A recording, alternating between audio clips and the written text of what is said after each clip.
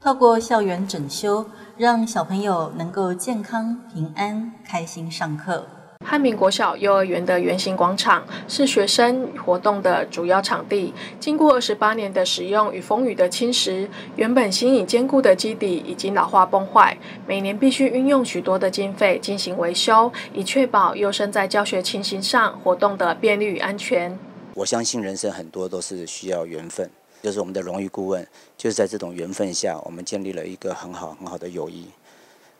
我每年都会过去跟董事长聊一聊。办学的努力跟他分享，他看到我有一点卡住了，那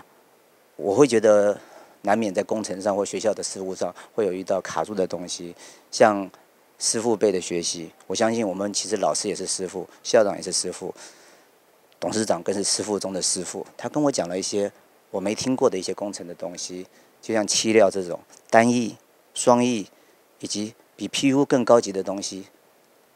我听懂了，那我听懂了，我要如何开口？